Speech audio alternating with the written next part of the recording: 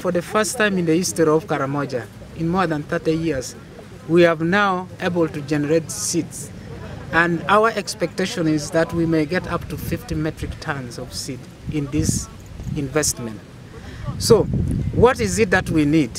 In fact, our modest estimate to do a modest work is about 2.5 billion in order for us to reach almost each and every district in at least a fair way and also be able to scale these technologies to the farmers.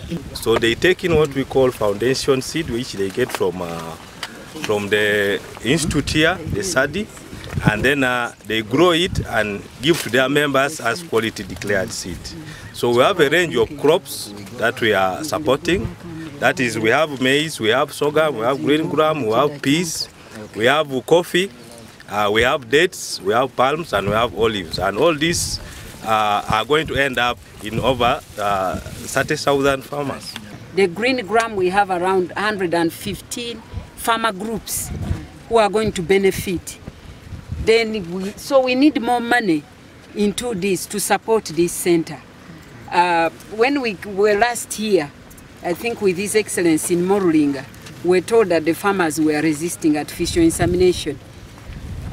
Today we are being told that the Nabwini can now not satisfy the demand, so they need our support.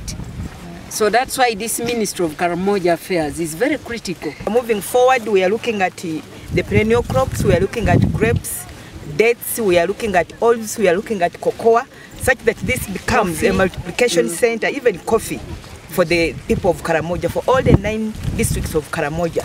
We want really to go into commercial um, agriculture in this region too, such that we can chase new and uh, I think government will have to give us more money to invest into this uh, into this uh, NARO center to ensure that farmers get very good and uh, quality seeds.